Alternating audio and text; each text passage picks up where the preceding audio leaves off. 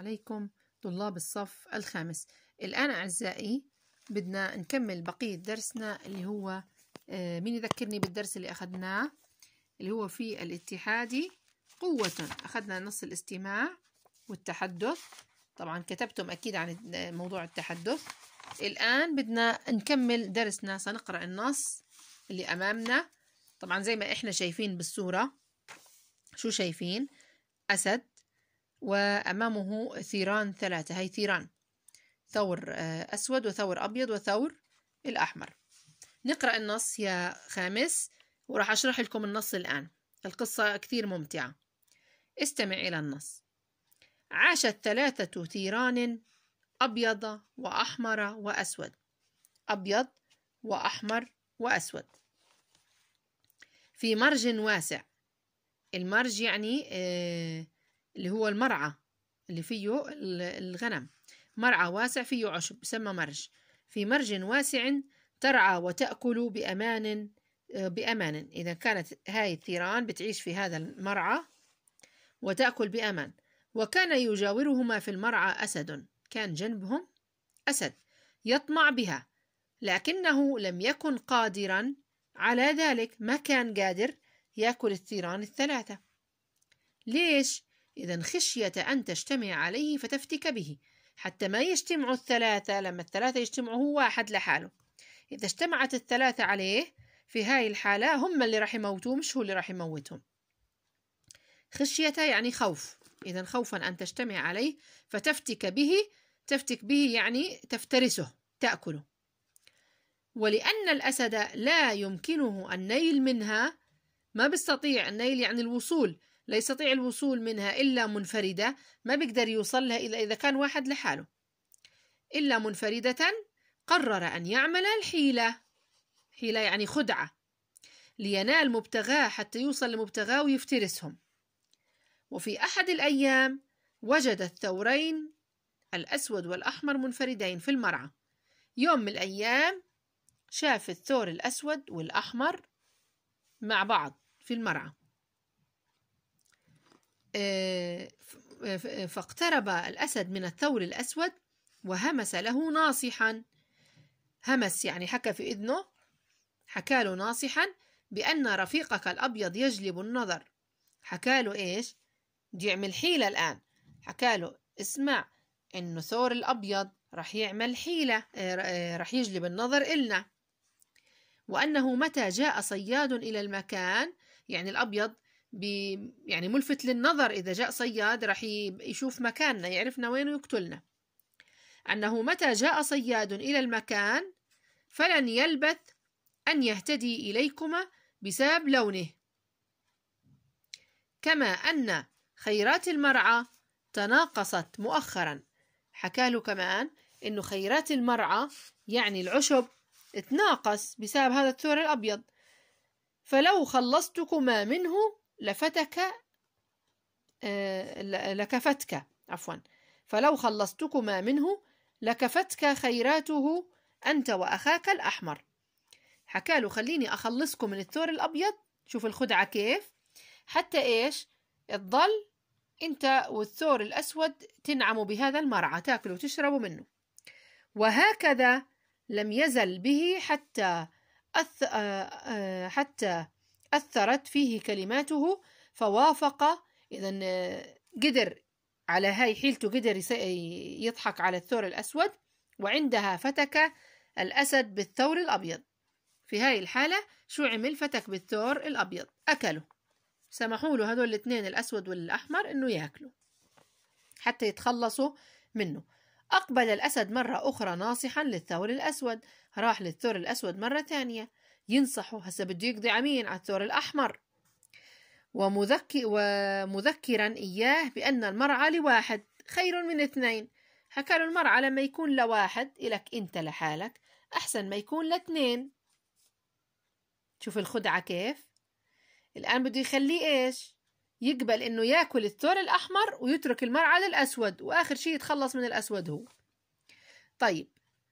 إذا آه، حكينا أقبل الأسد. ناصحا للثور الأسود ومذكرا إياه بأن المرعى لواحد خير منه لاثنين. حتى تمكن من النيل من الثور الأحمر. آه رضي الآن الأسود. وخلاه يأكل الثور الأحمر. أكله. ثم عاد الأسد بعد أيام. وفي عينيه نظرة فهمها الثور الأسود جيدا. أجاله إيش؟ مفترس. بده يأكله. ما ظل غير هو.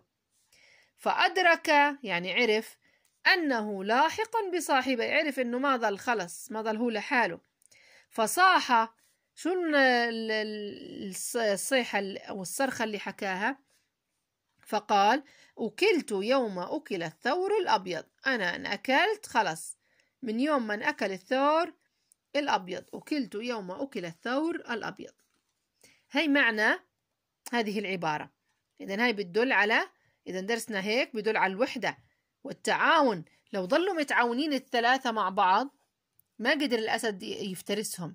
لكن ضحك على الثور الأسود وأكل الأبيض بعدين ضحك عليه وأكل الثور الأحمر آخر شيء ما ظل غير هو فأكله طبعا هذا المصدر مأخوذ من وين؟ من أمثال العرب. أمثال أمثال العرب. بعد ما فهمنا النص يا خامس الآن نأتي إلى المعجم والدلالة. آه، معنى مرج حكينا مرعى واسع فيه عشب كثير. طيب معنى الحيلة المكر والخداع يفتك به أي يفترسه مبتغاه مراده وطلبه. أخذنا كمان معاني أخرى في الدرس كانت آه، في النص اللي هو حكينا المرج أخذناه آه، كذلك مين يذكرني؟ النيل معناها الوصول لا يمكنه النيل أي الوصول. الحيلة حكينا اللي هي الخدعة موجودة عندك. مبتغاه يعني طلبه كذلك مبتغاه طلبه. آه أن يهتدي أن يصل إليكما. أن يهتدي أن يصل إليكما. طيب هي بالنسبة للمعاني. الآن الآن نأتي إلى اثنين في المعجم والدلالة. استخرج من النص ضد كل كلمة من الكلمات الآتية. ضد حكينا معناها عكس. مجتمعة. شو عكس مجتمعة؟ موجودة عندك في النص. الآن قرأناها. عكسها كانت متفرقة. اللي هي وين؟ خلينا نطلعها من النص. أفضل. أو منفردة. منفردة. إذا مجتمع عكسها منفردة. عفوا منفردة. آه رفض. عكسها وافق. موجودة عندك في في النص. إذا رفض. عكسها وافق. أنا طلعتها من النص.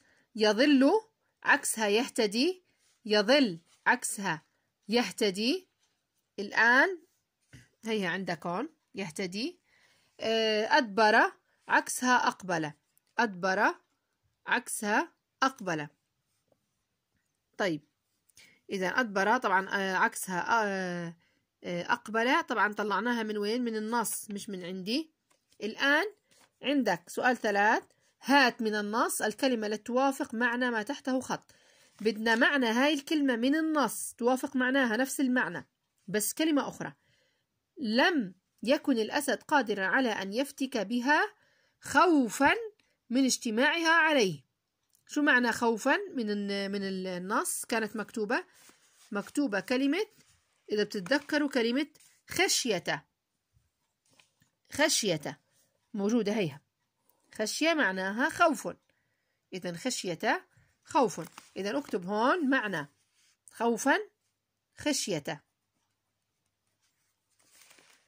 آه عندك باء قال له بصوت منخفض ناصحا. الصوت المنخفض يعني إيش؟ همس آه هيها كانت هون عند ال عند ال الحيلة لما كان بده يعمل. وهمس مع الثور الأسود. هيها. همس له. إذا صوت منخفض يعني همس له. جيم خيرات المرعى قلت. شو يعني قلت؟ قلت يعني نقصت. يعني هون معناها موجود عندك في النص. لما حكى له إنه خيرات المرعى قلت تناقصت. موجودة كلمة تناقصت في النص. هيها تناقصت. إذا هذه هي. الآن يا خامس تقلب معي الصفحة على الفهم والاستيعاب. نأتي للفهم والاستيعاب. كيف كانت حياة الثيران الثلاثة في المرج؟ كيف كانت في المرج يعني في المرعى؟ آه، ترعى وتأكل بأمان. ترعى وتأكل بأمان. طيب اثنين لماذا لم يفتك الأسد بتلك الثيران جميعها معا؟ ليش ما قدر يفتك فيها؟ يعني يقتلها يفترسها. إذا خشية أن تجتمع عليه فتفتك به. خشية أن تجتمع عليه فتفتك به. ثلاثة ما الطريقة التي اتبعها الأسد للقضاء على الثيران. شو عمل؟ حيلة. الحيلة. أربعة. صف موقف الثور الأسود من الأسد حين تخلصت من أو تخلص من أخويه الأبيض والأحمر. شو كان موقفه؟ هيا هون. إذا موقفه. أدرك أنه لاحق بصاحبيه فصاح أكلت يوم أكل الثور الأبيض. في آخر النص كان الجواب. إذا أدرك أنه لاحق بصاحبيه فصاح أكلت يوم أكل الثور الأبيض. خمسة فيما يضرب المثل أكلت يوم أكل الثور الأبيض. هذا مثل. في إيش يضرب؟ يضرب أنه في الفرقة ضعف. في حالة الضعف نقدر نحكيه أنه في الفرقة ضعف. ستة استخلص السبب الذي أدى إلى كل نتيجة فيما يأتي. شو السبب؟ قرر الأسد يعني لماذا؟ علل. شو السبب؟ وأذكر السبب. قرر الأسد أن يعمل الحيلة على الثيران. ليش؟ حتى يتمكن من القضاء عليها. حتى يتمكن من القضاء عليها. ب.